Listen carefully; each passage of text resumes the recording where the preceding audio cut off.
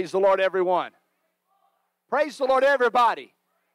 It's good to be in church today. Amen. That's all right. Give the Lord a hand clap of praise. Amen. It is good to be in the Lord's house today. I'd like to welcome everyone to New Life Pentecostal Church, where we believe that you can be rescued, redeemed, and restored. Amen. I want to thank everyone for being here, and there are still some that could not be here today. Uh, that it's always the case, but if you're here, we're glad you're here, and we welcome you here today. We had a tremendous service last night. If you if you made it to church last night, you were touched, moved, and blessed of God. Amen. And and you you uh, you have, you robbed yourself of an opportunity to be fed in a deep way. But if you're here today, you're going to be fed again, both spiritually and with some good food a little bit later. Amen. All right, we got just a few announcements and a few things we're going to do before we start service. Number one, I need to say that the ladies will be doing a cookie swap next Sunday at 5 p.m. Uh, where's my wife? My wife is right there. All right, well, hold your hand up, Sister Laura. If, you if you're a lady and you'd like to participate, just see her sometime today and she'll give you all the details. If you don't already have them, she'll give them to you. Also, just around the corner, we're going to be doing this, so I'm going ahead and getting the word out now. Every year, the jail ministry uh, out of this church, uh, we take snack cakes for the holidays into the jail, and we call it snack cakes for inmates. Uh, if you would like to participate and help, uh, if you will bring boxes of snack cakes by December 11th. Start bringing those in. Also, and I skipped an announcement. I know I did it. I'm going back. Angel Tree. Angel Tree. They're working on it. All right, I'm looking for Sister Sister Danielle. She may be in the nursery. She's already done a good job of this. I'm going to brag on that. The angel tree was set up this morning. Every year, this church, uh, we do our best to help families in need that do not have the, the means to do Christmas for their children. It's already set up and ready. If you would like to help, what I want you to do is go by that tree and take off one of the ornaments. And let me explain them to you. If you get a star, that's one gift for, for a child. If you get an angel, that's all of the gifts that one child is needing. So, an, a star is very simple, it's one gift. An angel, you've bought that child's whole Christmas. Also, uh, and this is really what I wanted to do this morning. I need to give, before we do anything else, I need to issue a thank you to some people. Is that all right? Is that okay? I think that a thank you is in order.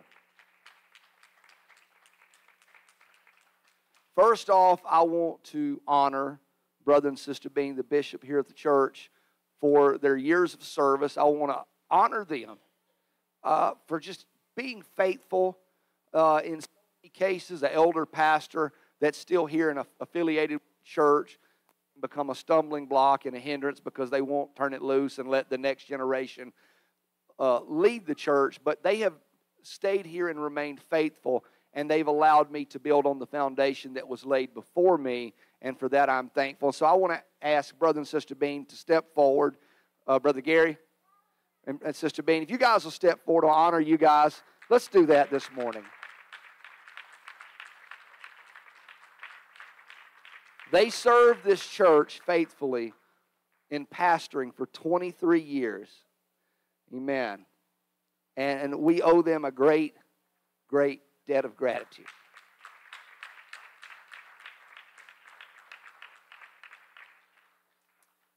Now, in my notes, it says everything else.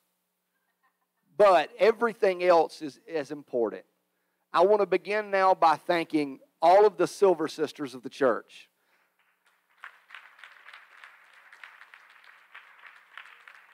I want to thank the trustees. I want to thank, the, and only say this the trustees have been with me since the concept of that new building.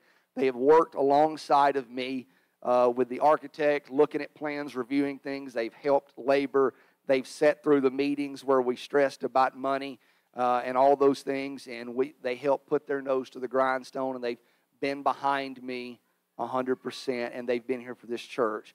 I also want to thank the ministry team and the elders of this church. You are faithful, and your support and encouragement is uh, is felt and appreciated. I want to thank every Tuesday night worker. If you have shown up here on a Tuesday night and worked at this church, I thank you right now. Amen. They, they deserve it.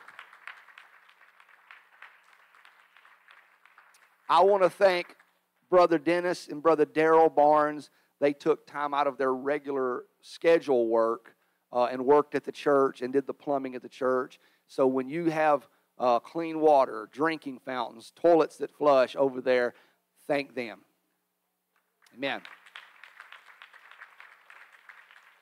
I want to thank uh, our Saturday workday crews for all of their hard work. I want to thank Wyatt General Contractor. Uh, without them, we could not have gotten where we are right now. Also, Sunday school teachers for the last 12 months, your patience and, and your faithfulness and hard work has not went without notice. Amen. We are blessed here today because of Sunday school teachers. I want to, amen. Amen. I want to thank every person who has given faithfully to the church. You have made the vision come to pass. I want to thank everybody that has persevered through ups and downs the good, the bad, the happy, the sad, and the ugly. We are here today because of your faithfulness. Amen.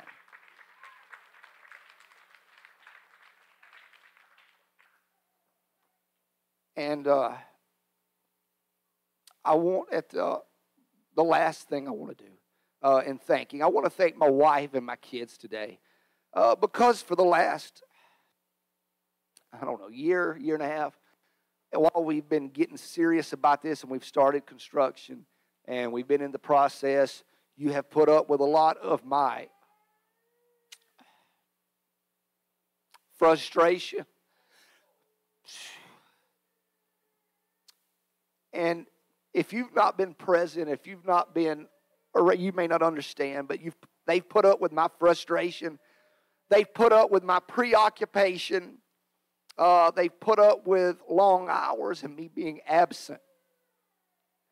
And uh, I appreciate everything they've done. I mean, if we could just.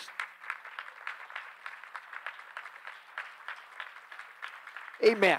All right, enough of that stuff. There are still ways that you can give and you can help. If you've not put a dime in, or if this is the first thing you've ever heard about it, there are still ways that you can give. I want you to throw a few things up here. You can help. You can help us with a floor cleaner. I promise you it'll be a lot easier. You can help with an ice maker. You can help us with a brand new washer and dryer. You can help with a new projector, a projector screen, dust mops, not them short ones, the big wide ones, and athletic equipment. Amen. Tables and chairs that look just like those in the pictures. All right, if you'd like to help, there'll be an opportunity to give today and you can give at any time, and we thank you. But now we're getting ready to start this service. I want to bring, okay, Brother Jonathan. Let's welcome him as he comes. Praise the Lord, church. So, Pastor has been doing a lot of thanking for the things y'all done, and y'all have done a phenomenal work. Howsoever, it's Pastor Appreciation, and we want to thank you in fact, there's a lot of y'all that have either had issues or you've been in the hospital and Pastor came to see you. You were sick, Pastor prayed for you. I recall a time I had COVID and I thought, oh, I'm good. And as it went on, it progressively got worse. And Pastor decided he was going to bring me a breathing treatment, a machine and treatment. And I knew I was doing a lot worse than I was letting on. And would you? And this is what was everybody thought you get it, you might die. And Pastor came over. It didn't matter. He laid his hands on me and prayed for me. The next day, it broke completely, was gone. But that's the kind of pastor we have that he spends a lot of time praying for us, a lot of time laboring for us. And we want to thank you.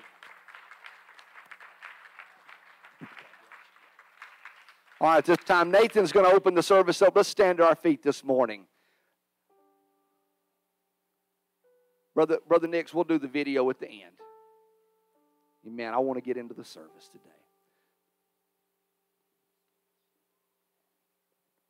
Praise the Lord, everyone.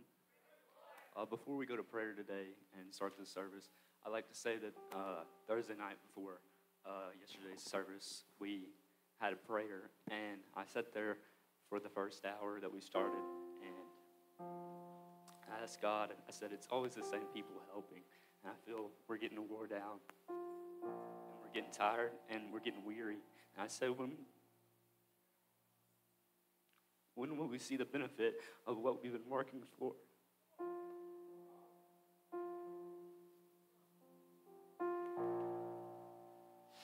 And I heard a voice say to me, The harvest is ready. The harvest is ready. We've worked so hard, but why not stop now? We can't stop now because the harvest is ready. Just because the laborers are few doesn't mean that the harvest is not ready, and it's plentiful too. We have so much more ahead of us, so much to look forward to if we just persevere and we keep going on. I feel like it's been seven days. It's been seven days, and we've done seven laps around Jericho, and we've had every step ordered, and we've been in silence. But this is the last day, and it's the last lap, and it's the last time we have to have our voice silenced. We're about to be heard in this community, heard in this state, and heard in this world. God has more in store for us than we even know. Like the pastor said, and the preacher said last night, God is as big as we're going to make him. He's as big as the box we're going to put him in. Let's remove that box and let him be as big as he needs to be. But at this time, let's go to prayer and start the service. God, thank you for everything you've done in this church and this community. God, thank you for the service we're having today and the opportunities we've been given. I ask God that you'd have your will and your way in this service. In Jesus' name I pray. Amen.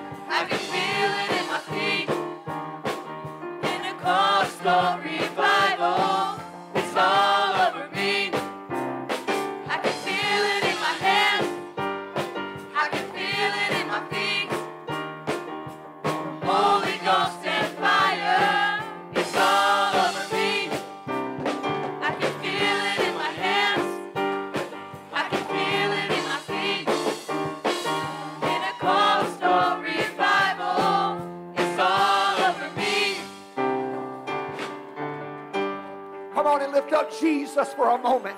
He's worthy to be praised. Hallelujah. Hallelujah. Hallelujah.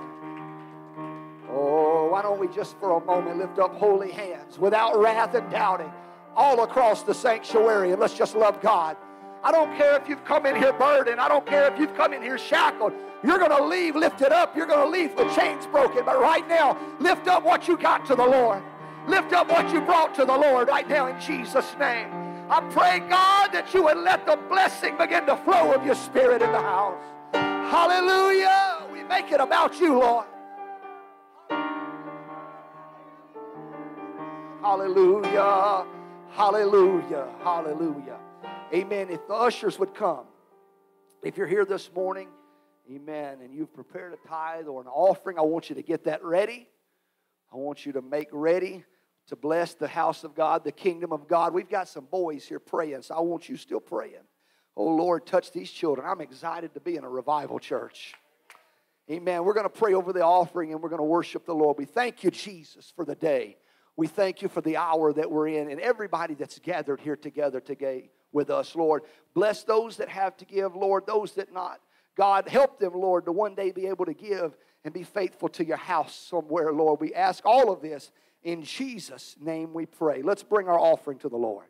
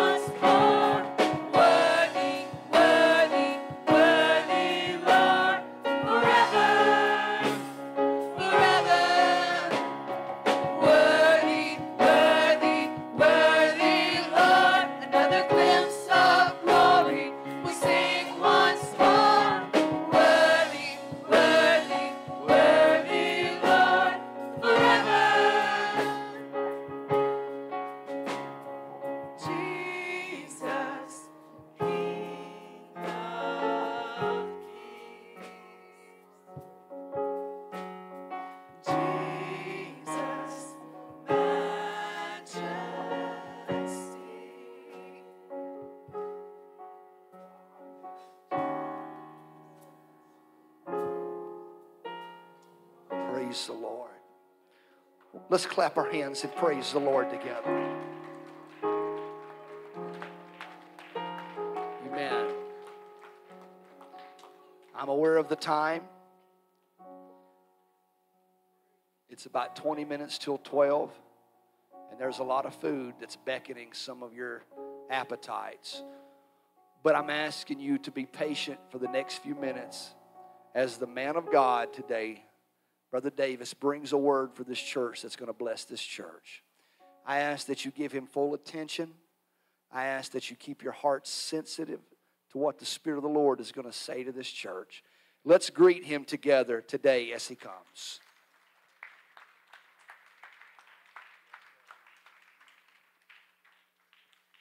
Well, praise the Lord, everybody. Are you glad to be in the house of the Lord? Amen. It's an honor to be here with you all. What a privilege it is to uh, greet you again. And uh, what a time we had last night. Amen. Such a great, great move of God. Power of His presence was certainly in the room. And, uh, well, He's here today as well. Amen. And uh, we're going to move into the word of the Lord. Amen. It's an honor to be with you today as, uh, as you celebrate the leadership of Pastor Bean and his family. And uh, thank God for this great, great legacy. Amen. Are you thankful for your pastor? Give him a great big hand.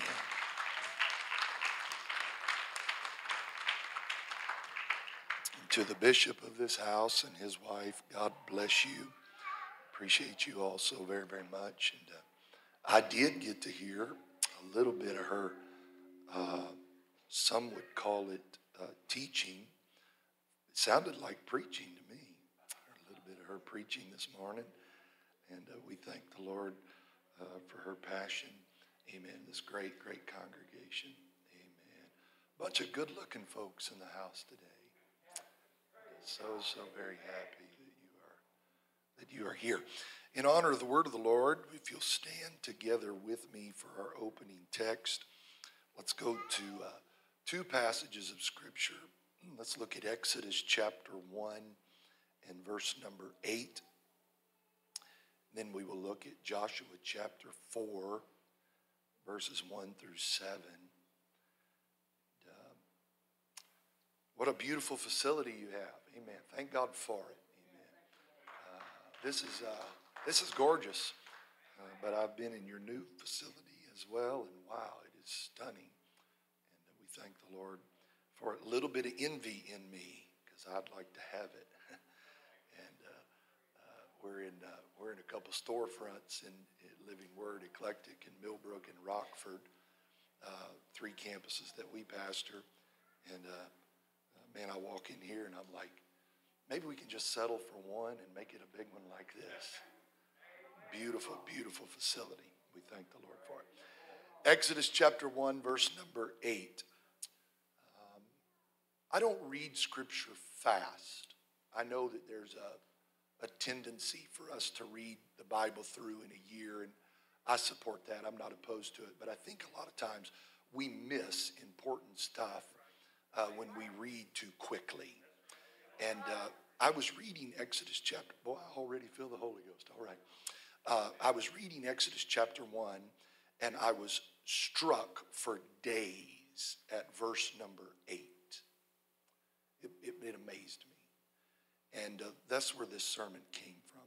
Exodus 1, verse 8. Now there arose up a new king over Egypt, which knew not Joseph. How in the world does that happen? There rose up a new king over Egypt, which knew not Joseph. Now turn to Joshua chapter 4. Let's look at verses 1 through 7. It came to pass, Joshua 4 1 through 7, it came to pass when all the people were clean passed over Jordan that the Lord spake unto Joshua, saying, Take you twelve men out of the people, out of every tribe a man, and command ye them, saying, Take ye hence out of the midst of the Jordan, out of the place where the priest's feet stood firm, twelve stones. Somebody say, Twelve stones. and ye shall carry them over with you, and leave them in the lodging place where ye shall lodge this night. Then Joshua called the twelve men whom he had prepared of the children of Israel out of every tribe a man. Joshua said unto them, Pass over before the ark of the Lord your God into the midst of the Jordan. Take ye up every man of you a stone upon his shoulder. So it ain't a little stone, it's a big stone. You got to put it on your shoulder according unto the number of the tribes of the children of Israel, that this may be a sign among you, that when your children ask their fathers in time to come, saying, What do these stones mean? Then you'll answer them that the waters of Jordan were cut off before the ark of the covenant of the Lord.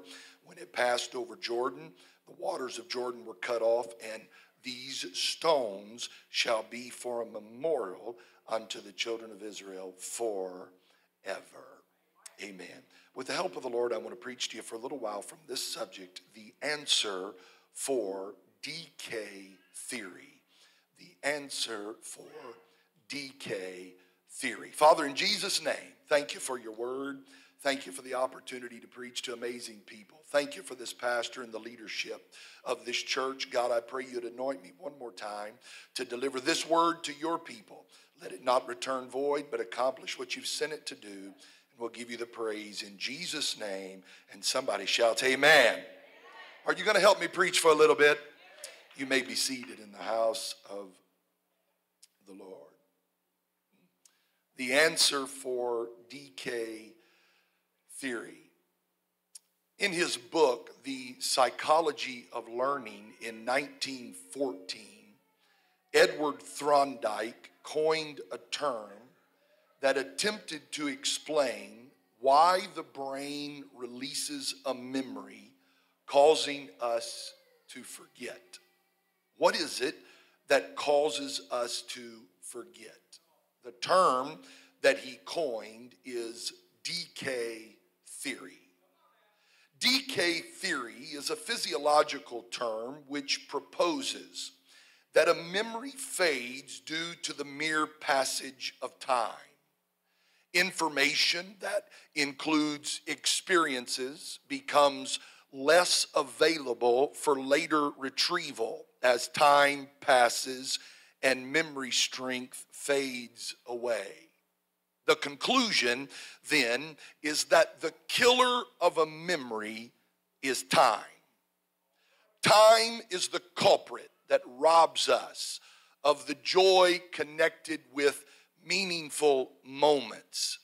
And the sad reality is that time is out of our control. Many psychologists agree that there is one way, however, to help slow the effects of decay theory. And the one, the one way is simply this it is the art of rehearsal.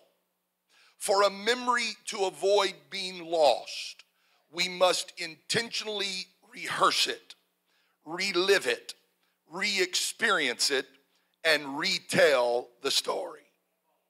My dad and mom both are, are in their, their 70s, and I love to talk with my dad. He recently had a stroke about five years ago, and, and uh, recovering from the stroke has been uh, has been a challenge to say the least. He was a minister for several years, preacher of the gospel, and now uh, he, he, struggles some in those areas, and and uh, he, he, struggles a little bit uh, with with memory, with memory. But I love to sit down with Dad, and as we begin to talk, I will jog his memory. I will talk about 1954 Chevrolet and dad will begin to recite to me the color of it and the way that thing run and how many barrels were on that carburetor and how fast that thing would fly. And the reason he was able to remember that moment is because I rehearsed in his memory a thought from years ago. If a memory is uh, going to avoid being lost, we've got to be intentional about reliving the moment, re experiencing the moment, rehearsing the moment, and retelling the story. And hallelujah, this is what troubles me so much about this text in Exodus. This is what makes me so frustrated. It perplexed me for such a long time. It is potentially one of the most tragic verses in the context of the Exodus, Exodus 1 and 8. Now there arose up a new king over Egypt, which knew not Joseph. It's tragic it's tragic. You will remember Joseph and his life saving leadership of the nation of Egypt, a, a, Pharaoh's dream and an anointed interpreter. Somebody say, Amen. Joseph, with God given wisdom, strategically plans during seven years of plenty for seven years of drought. Do you remember? Storehouses are built and food taxes are levied. Crops flourished, and the nation of Egypt, under the leadership of Joseph, prepares for the coming seven years of dearth, lack, drought, and famine. Please understand that had it not been for Joseph, this drought most certainly would have been the death of the nation of Egypt. So, how in the world is there a verse 8 that says, There arose up a new king over Egypt, which didn't know Joseph? How do you get there? How, how do you go from a hero to a zero in the eyes of a nation? Please understand as well that had it not been for Joseph, this historic drought most certainly would have been the death of those even beyond the borders of Egypt who were affected by this famine. But instead of death, there was government prosperity.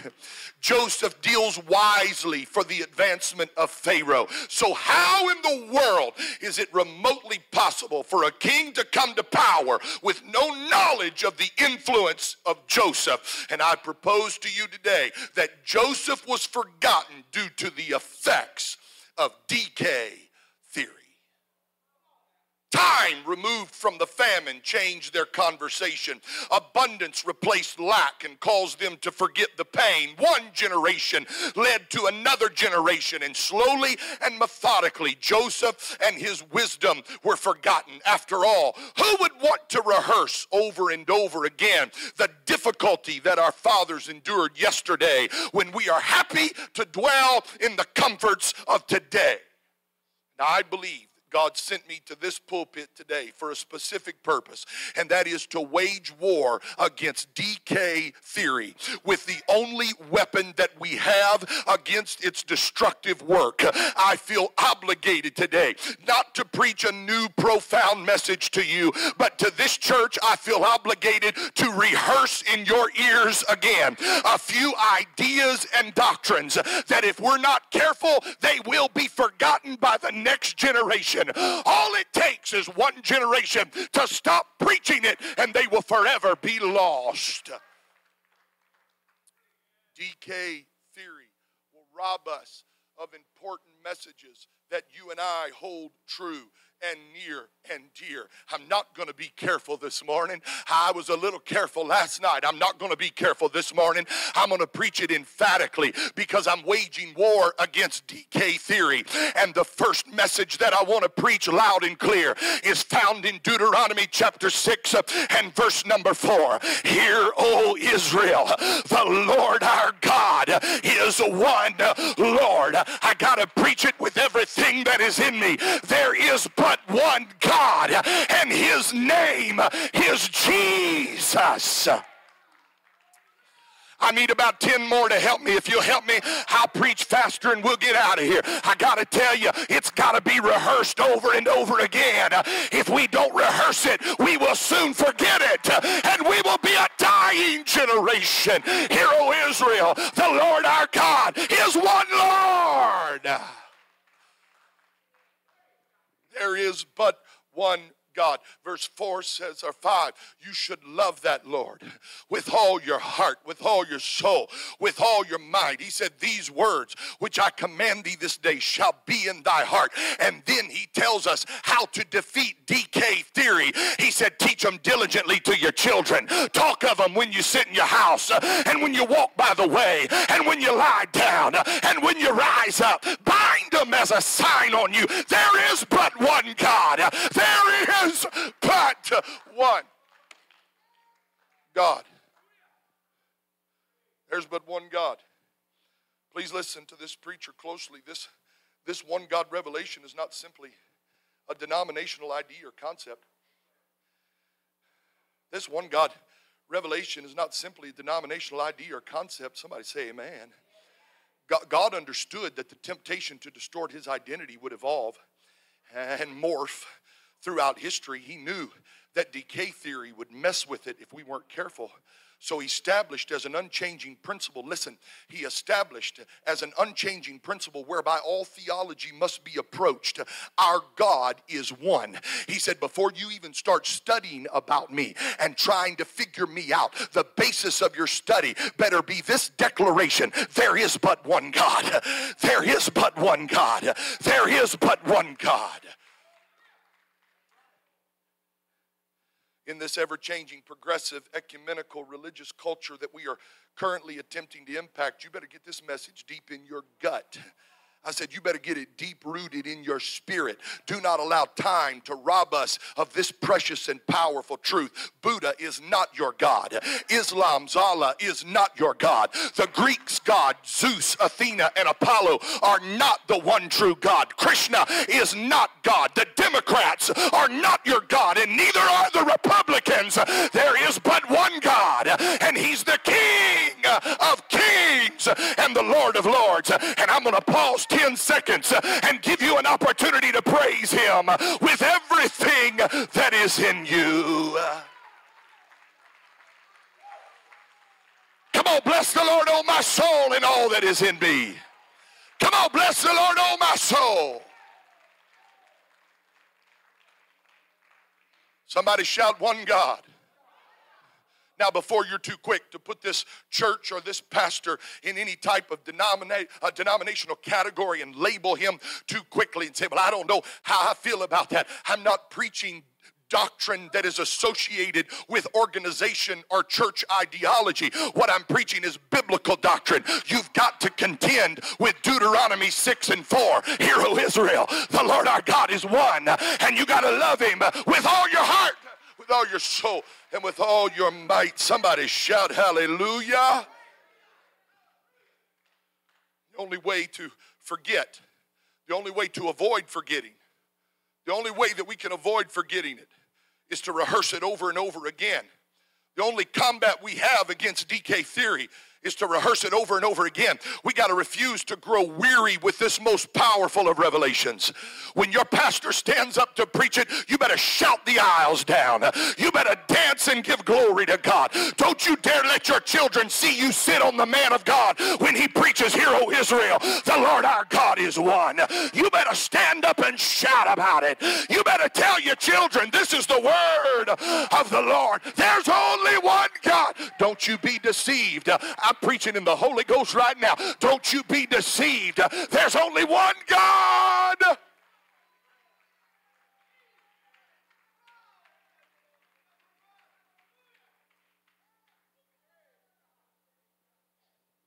we're not careful, decay theory will rob it from us.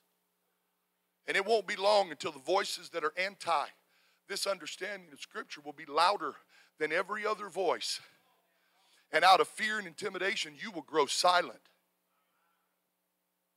And a world will be lulled into sleep as they worship at the altar of Kamala Harris, or they worship at the altar of Donald Trump, or they worship at the altar of a political party, or they worship at the altar of a denominational ideology. I'm not preaching to you Pentecostal doctrine, I'm preaching to you Bible doctrine. Hear, O Israel.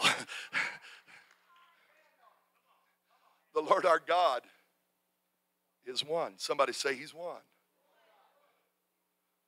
Mm-mm.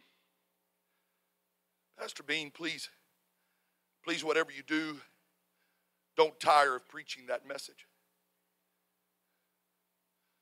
Don't get weary with that message. Because, Pastor, if you stop preaching it, then the next generation won't hear it. And eventually, decay theory will rob it from us. Church, don't tire of hearing that message the, the second message or doctrinal ideology that I think that you and I, biblical doctrine that you and I should embrace and hold. I touched on it last night. I'm going to touch on it again. Number two, point number two. Uh, the miraculous should be the norm. And I want to pre- I want to preface this second point with this statement. I do not know why God heals some people and he does not heal other people. I don't have that answer. But what I refuse to allow is my lack of understanding about God and His decisions to hinder me from believing that God is a healer. Did that make sense to you? In other words, if I pray for one who has cancer and the Lord chooses to take that one, I'm not going to curse God and get mad at him for not healing. I'm going to pray for the next one and God's going to heal that one. And at some point, God's going to get some glory. I wish y'all heard me preaching this because I feel it all over me. The miraculous should be the norm. We should celebrate the miraculous. We should anticipate the miraculous. Mark 16 and 17 is in your Bible, and you must contend with it. And these signs shall follow them that believe. In my name they shall cast out devils, they shall speak with new tongues. Verse 18 they shall lay hands on the sick, and they shall recover. That's in your Bible. Somebody say, My Bible. That's in your Bible. And if I'm not careful, if I'm not careful, decay theory will rob it from me. And I'll start believing that God don't heal anymore because I've been battling sickness for a long time. I'll start wondering if God heals because I've been dealing with a particular disease. I'll wonder if God's a healer. Listen to me closely. Don't you ever doubt God in His Word. If He heals, you better, or when He heals, you better praise Him. But if He chooses not to heal, you still better praise Him because He's a sovereign God and He knows what. Why am I getting resistance right here? Let me come down here and preach it to you. I said He's a sovereign God and He knows what He's doing.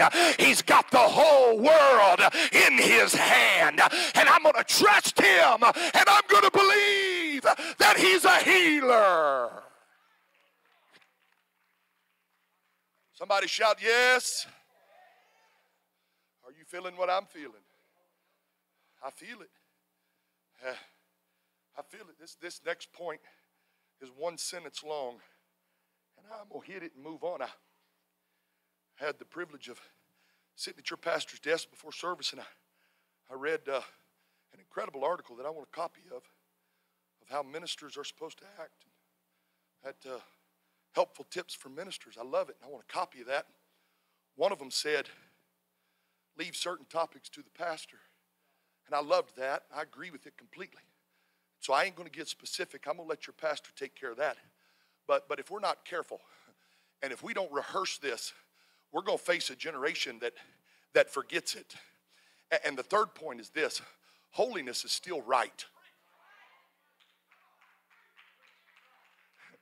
I may need to take one of these out so I can hear you a little better. I, I said, holiness is still right. I got one amen over here. I got some, I'm going to say it again. I said, holiness is still right. You say, Well, I don't know how I feel about all that holiness. How about you read Hebrews chapter 12 and verse number 14? How about you read that one? Follow peace with all men and holiness without which no man shall see the Lord. You can't even be saved without holiness. You got to come out from among the world. You got to be separate, saith the Lord. You can't talk like they talk. You can't walk like they walk. Yeah, you're staring at me and sitting there. Now you got me fired up. Now I'm going to get down here and preach it. You better believe there's a way that's right. You better believe there's a highway that's pure. You better believe that holiness is a mandate for my life.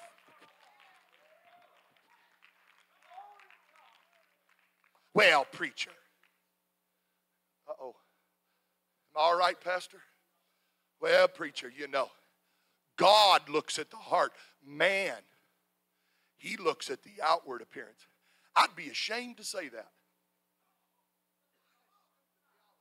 If I knew that men were observing me by how I present externally, and I want to represent Jesus well, I, I better stop. I I'm going to adhere to the rules of visiting preachers. Somebody shout holiness. And yours says go. All right. Let, let me talk to you a little bit more then, since Pastor gave me permission to talk. I'm not going to talk anything specifically. Uh, that will leave that to him. But I do want you to understand that I don't go places that this world goes, and it isn't about it being wrong or right. It's about being. I want to represent Jesus well. I don't dress like the rest of this world. It's not about being wrong or right. It's because I want to be holy to God. Yeah. Yeah. Yeah, I'm going to move. I'm going to move.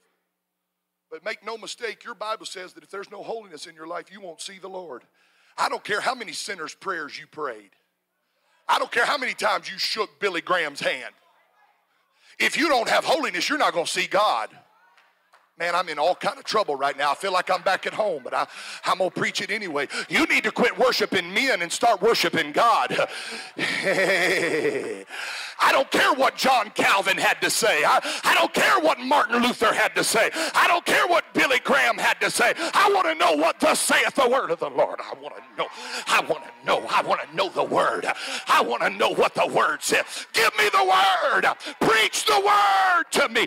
And if it says to come out from among among them and be separate, then I'm going to come out from them.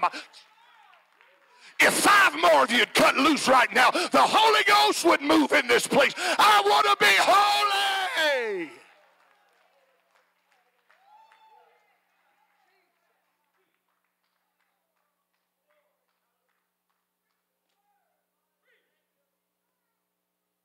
Somebody say hallelujah. Holiness is still right. Still right. Be seated. Let, let me get to number four here.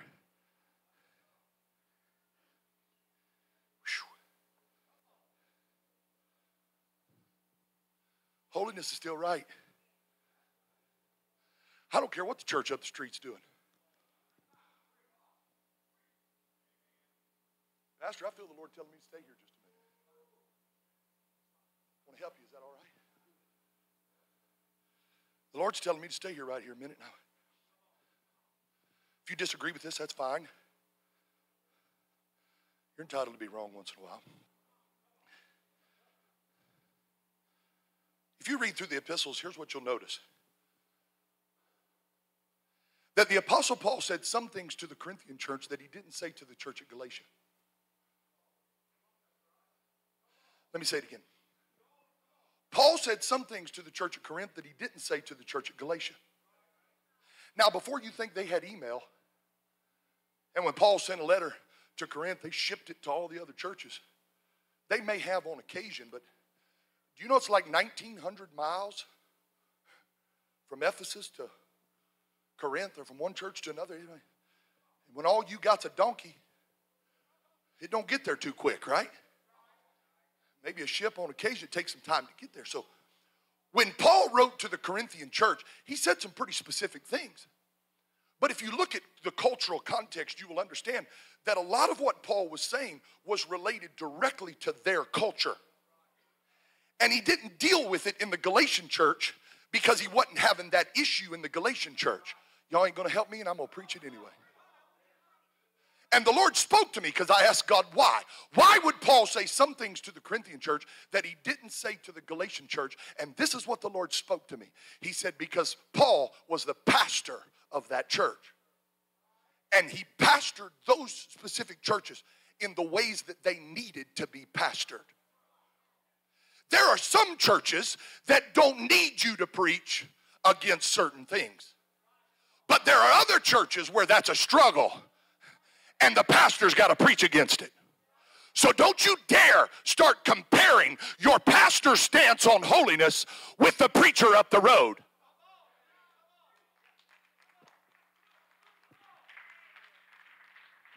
Well, Pastor Bean, we went and visited Brother So and so's church, and they don't require all that over there, and, and they don't make everybody do that. It's not your business uh, to observe the God calling of another preacher. You got to submit to your man of God and say, Preach the word to me. Boy, that was tough right there. I'm moving. One sentence turned into a big one, didn't it? Point number four. I'm getting in all kind of trouble today. Point number four. You better hear this because I'm fitting to say it. If you're not careful, we'll lose this.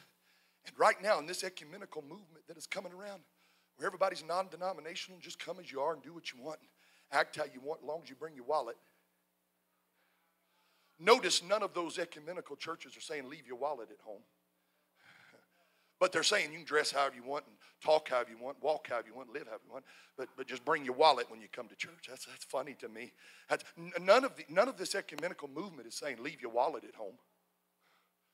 But, but they're conforming. They're, uh, they're compromising because they, they want in your pocket. Thank God for a pastor that'll preach the truth if you stay or walk out. Thank God for a pastor that's committed to the words of Paul to Timothy. Preach the word, man. Be instant in season and out of season. Reprove, rebuke with all long suffering and doctrine.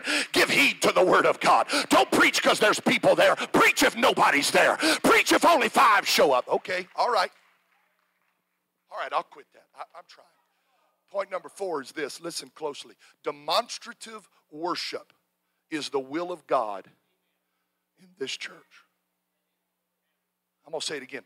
Demonstrative worship is the will of God in this church. And not only this church, in my church and in every church everywhere. Well, Pastor Daren, Pastor Bean, I'm not the emotional type. Hogwash. Every person was created with emotion. And if I had a nice long conversation with your wife in private, she'd probably tell me how emotional you can get sometimes. But then we come to church and sit on the seat and we're unmoved by the power and presence of God.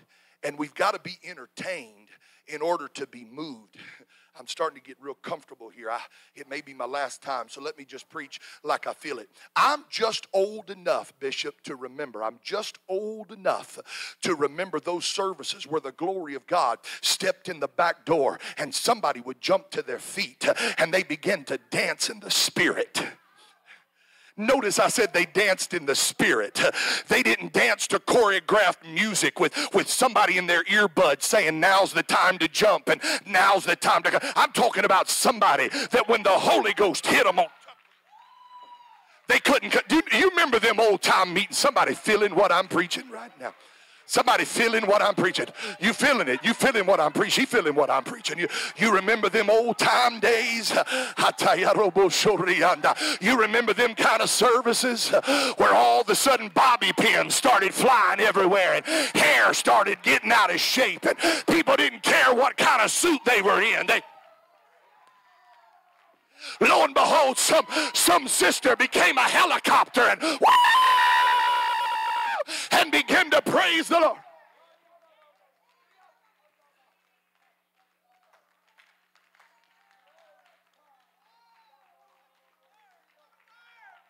Anybody hearing me preach this? And instead of reliving and talking about it and mentioning it over and over again, did you see what just happened when I just started reminiscing with you? Do, do, do, you remember when I just started reminiscing with you?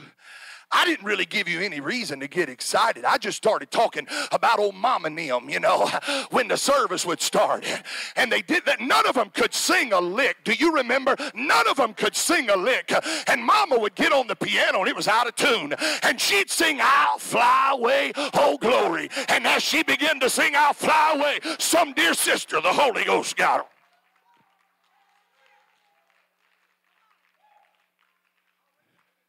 I will be willing to tell you that the people that are responding right now at this portion of the service just relived a moment in there yesterday. And what concerns me is that some of you are saying that preacher's crazy. And the reason you think I'm crazy is because you ain't never been there before.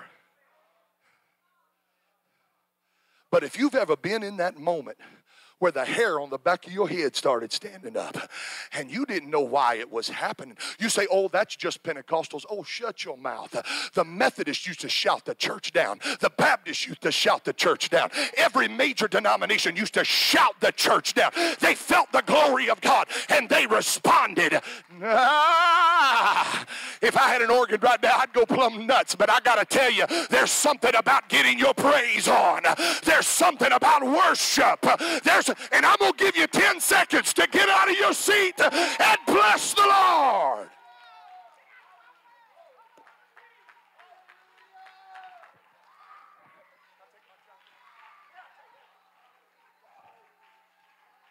Is that all you got, my brothers? Is that all you got, my sisters?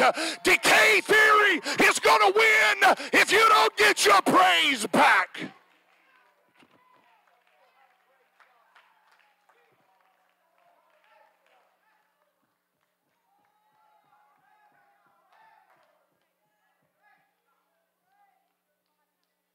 I am troubled by a generation that don't know how to worship unless there's a beat on the drum. When was the last time?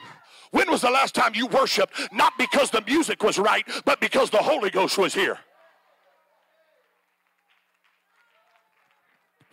When was the last time you could get lost in his presence when the lights were on full blast and nobody was singing your favorite song? Decay theory is killing us. I said, decay theory is killing us. And it's robbing us in a lot of areas. But one place it's robbing us of right now is in our worship. And you're not you. I'm going to talk about people now, Pastor. Some people are so scared to worship because they're afraid of what people think about them.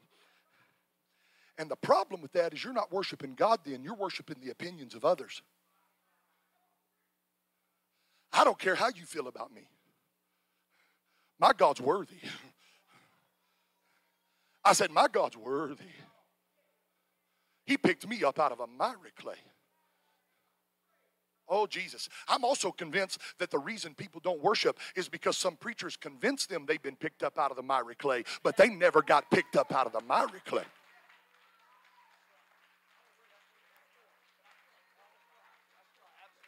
Let me preach to you that repentance is not an option, repentance is mandated.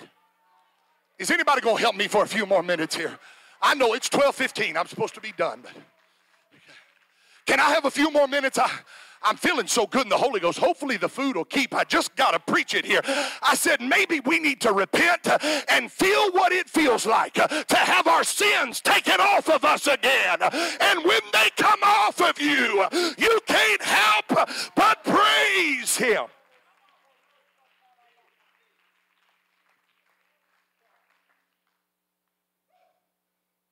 We don't need more music, we need more Holy Ghost.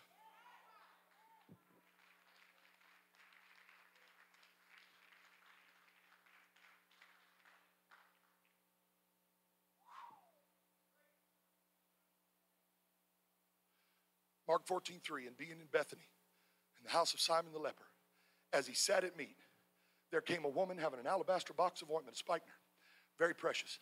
And she broke the box and she poured it on his head. And that might just be a story to you, but with no regard for what the men in that room would say with no regard for the mocking words of Jesus' own disciples, with no care for what others would think of her motive. She burst into the room. She fell at his feet and she worshiped him. You say, Pastor, what's it, Brother Davis, what's it going to take? What's it going to take to have revival? at our church? Do we need more programs, better singing? Do we need better worship? All that's good. Don't, don't get me wrong in that. But John 4 23 tells us the hour cometh and now is when true worshipers. So where there is a true worshiper, there's a false worshiper. And the Bible says that he's looking for true worshipers.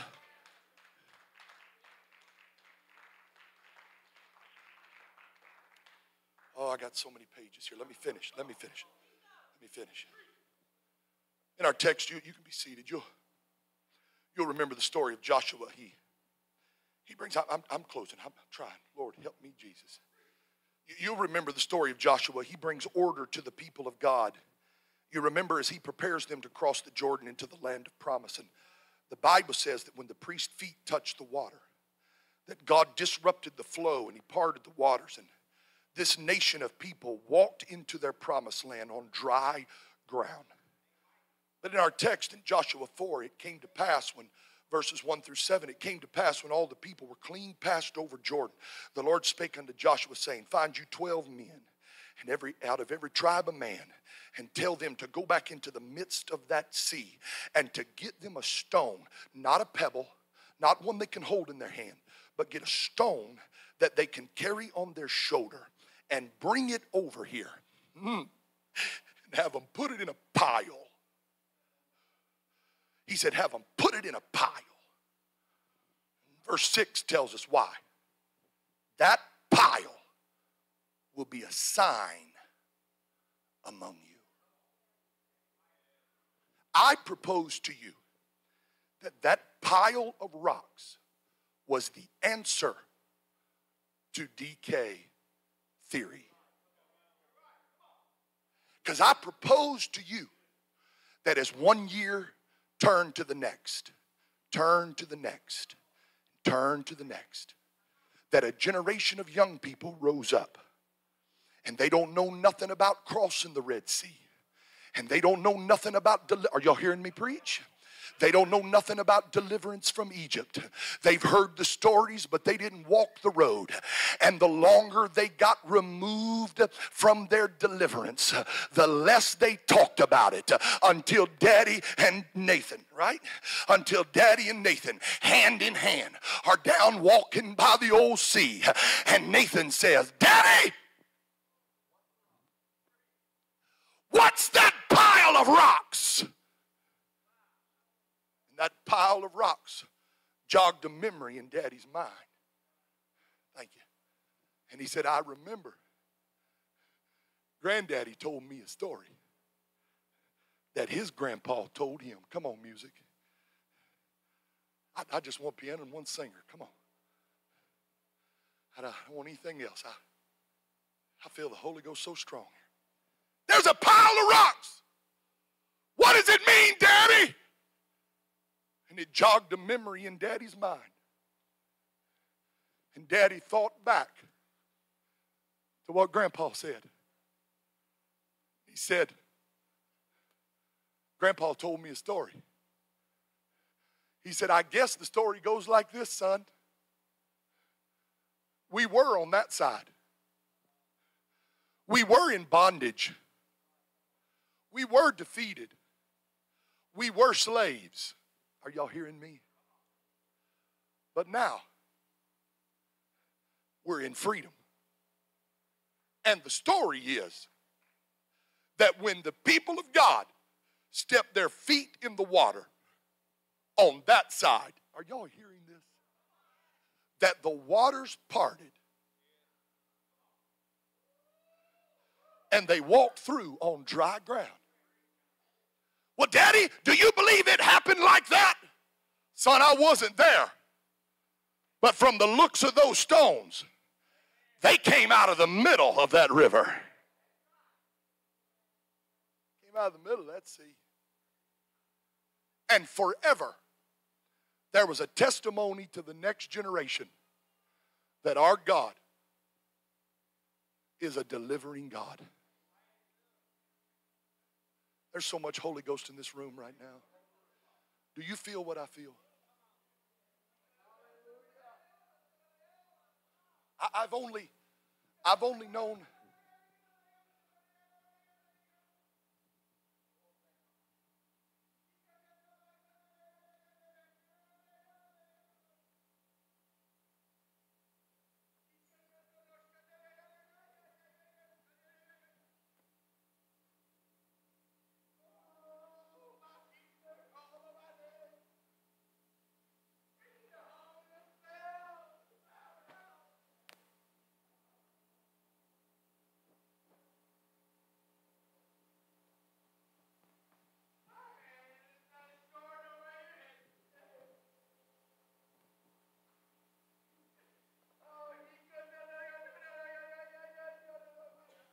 Somebody praise the Lord right now.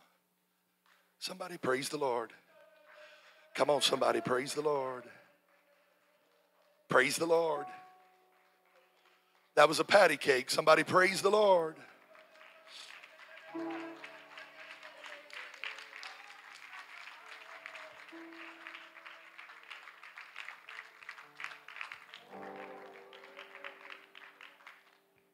When the gifts of the Spirit make us uncomfortable, it's an indication that decay theory has already took a hold of us. I'm going to say that again because the people in the cheap seats need to hear it. When the gifts of the Spirit make us uncomfortable, it's an indication that decay theory has already got a hold of us.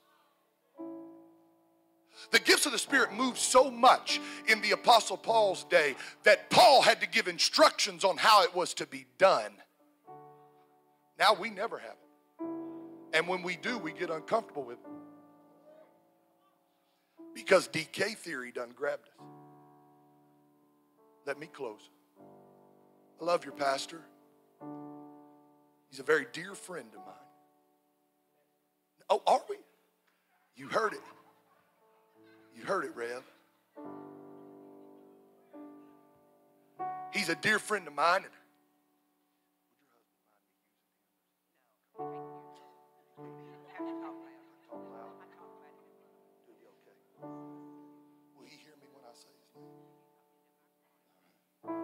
Bishop, can you hear me? You can hear me, thank God.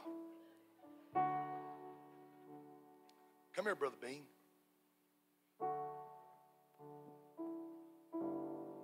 Mic and everything. Yeah, better be careful. How many years? Uh, 12. 12 years as a pastor of this church. Brother Bean is a fireball preacher. Great pastor. Thank God for him. But let me tell you something. He didn't get this on his own. Y'all didn't hear me. I'm going to say it again. He didn't get this on his own. Bishop, can you come help me? I, you knew it was coming. I'm sorry. Come on. Come help me, Bishop. I, now, that, that's your daddy, right? He's the former pastor. Okay. Come on, Bishop, right here. Thank you, sir. We love and respect you and honor you. Let me tell you. Come on, Bishop's wife. Act like you love that man. Close to him. He's a good man. Now, watch this. How many years? 52. Here?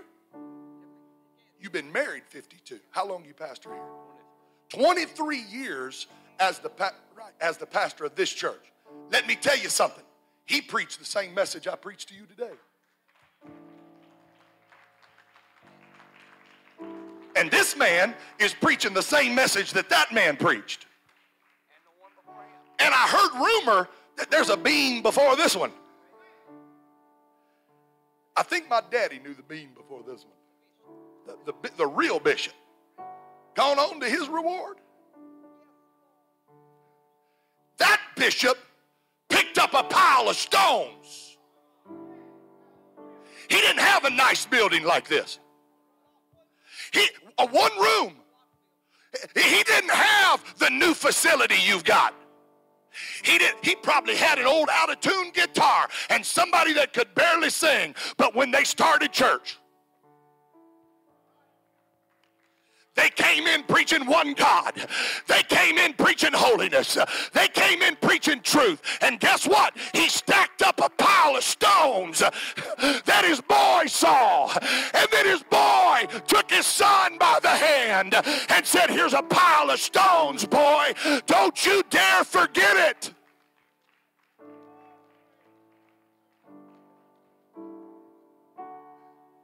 And looky here. Young old ruddy boy. Wet behind the ears, still ain't got it all together. He's going to make more mistakes, plenty more to come. And I don't know what the future is of this church, and I'm not prophesying about future leadership.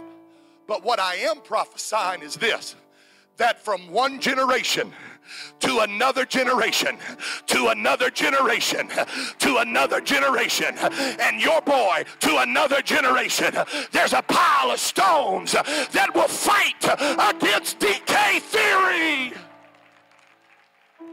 Stand with me all over this house. Stand with me. Thank you, Bishop. I love you. Stand with me all over this house.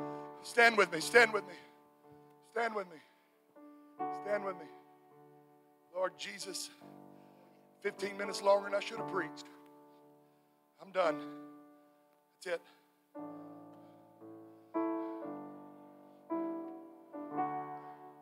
You are one wrong leadership decision away from becoming a charismatic, unrecognizable church. One wrong leadership decision.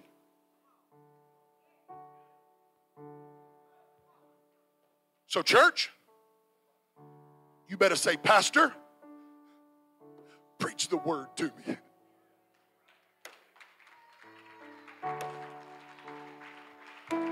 Preach holiness to me. Preach one God to me. Preach worship to me. Put up some stones for my grandchildren and my great grandchildren. I got to ask if there's anybody in this church uh, that will stand with the man of God right now in the word that's been declared today. And you will rush this altar. You will run to this altar in a sign of commitment. Would you come right now, right now, right now? I'm committed. I'm committed. I'm committed. I'm committed. I'm committed. Where are you? Where are you? I'm committed. I'm committed. Preach the truth. Build a wall. Lay the stones. We're going to have have revival. We're going to see a move of God. Decay theory is not going to destroy us. We're going to have revival. You ought to praise him like it's 1925. Somebody honor the Lord. not, oh gentle Savior. Hear my humble cry while on others thou art calling. Do not pass me by. I'm calling you Savior, Savior.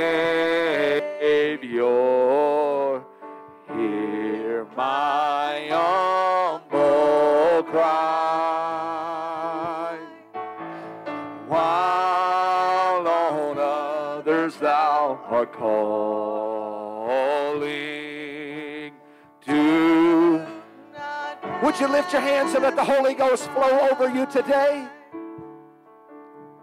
Let me at thy throne of mercy find a sweet relief.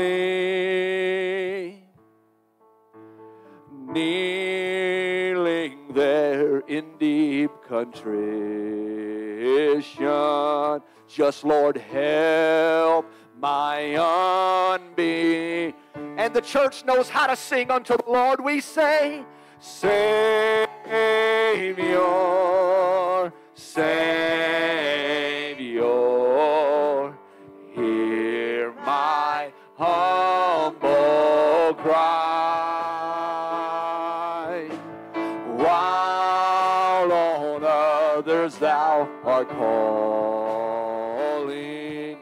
not do. That's okay. Let the tears flow. Somebody let the tears flow. I'm calling you. I'm calling Savior, Savior. Pray for your brother. Pray for your sister right now. Find somebody that's struggling right now and they're crying out to God for help. While on others, thou art calling.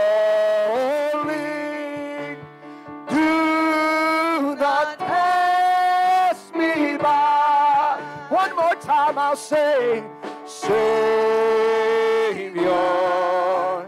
Savior. Brother Kevin, I want you to lay hands on her in the name of Jesus. Lord, begin to let the Holy Ghost overflow her right now. Come on, Sister Charity. Come on, pray right now in the name of the Lord. In the name of Jesus, let the Holy Ghost fall upon somebody.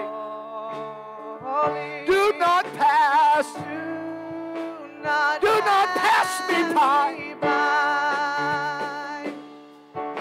I see a crimson stream of blood. Oh, it flows from. This is what Pentecost feels like if you didn't know. Hallelujah. It's when which reach the throne of God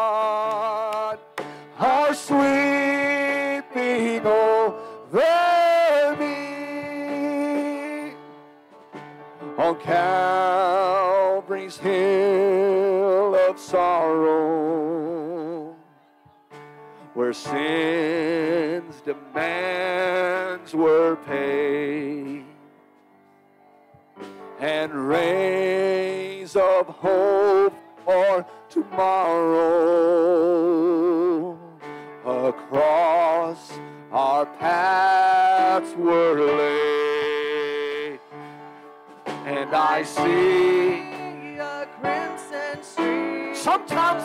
to go good to go back and get a fresh dose of the Holy Ghost, a fresh outpouring, a fresh touch of the Lord. Hallelujah! It's when. Which reach the throne of God. Hallelujah! Hallelujah! Our sweet sister Donna. Somebody bring me the elder. Come on, elder. In the name of Jesus. I see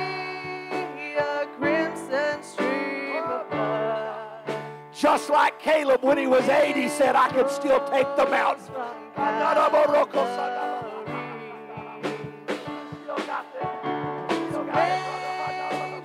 Oh, we've been through a lot. But God's got us the rest of the way, I promise you. The last leg of the journey, that God's got it. He's got it in Jesus.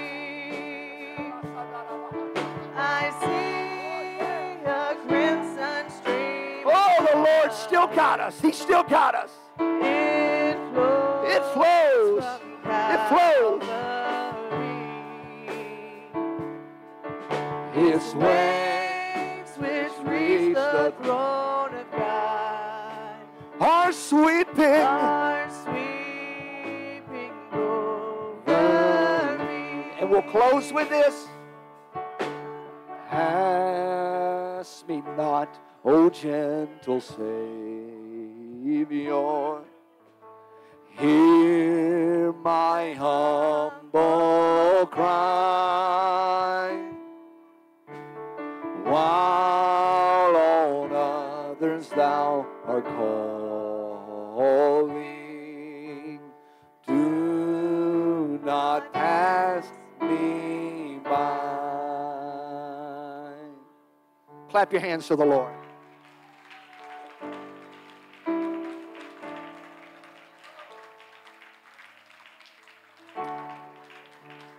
All right.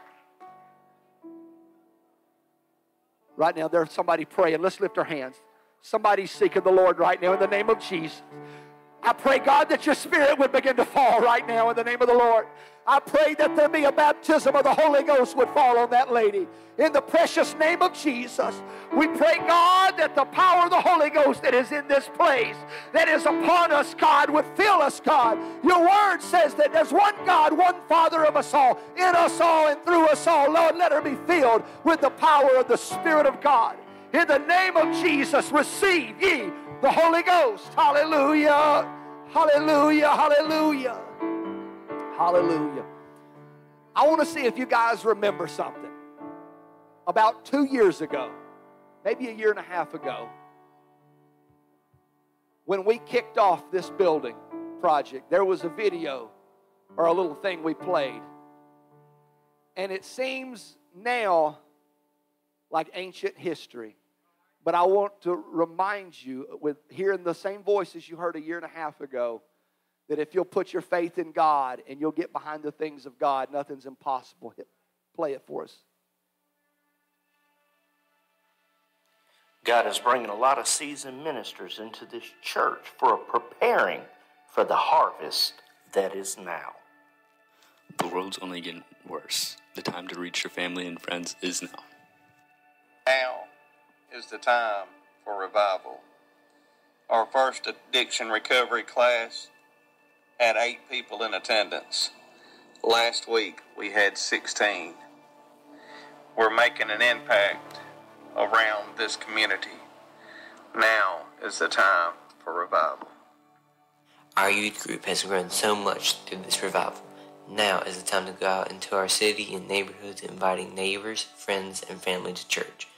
Our youth group's time is now. Looking back over the past few years, I can clearly see how God has intentionally moved people and families into place to facilitate the revival that's happening now. It almost feels like everything, every victory and defeat, every joy and sorrow, every gain and loss has been building up to this moment. Now. You're never too young to help out in God's house. Start now. As we enter into the new building program, I believe now is the time to prepare for our future. The revival that we are in has been an amazing work of God, and I believe will continue. Now is the time to prepare the building for services to be held because this sanctuary will not hold us long after the new building. Amen. Now, God is doing something in this church. We're going to pray over the food. Then I'm going to dismiss you into the other building. Make sure you let the elderly people and the older ones eat. Make sure you allow them careful. Help them, please. Make sure our guests are allowed to get at the front of the line too. Let's pray over our food. In Jesus, your wonderful name, we pray and ask your blessings over the food and the fellowship today. Thank you for your presence that's been in this house. We give you glory, praise, and honor in the mighty name of Jesus. Amen. God bless you.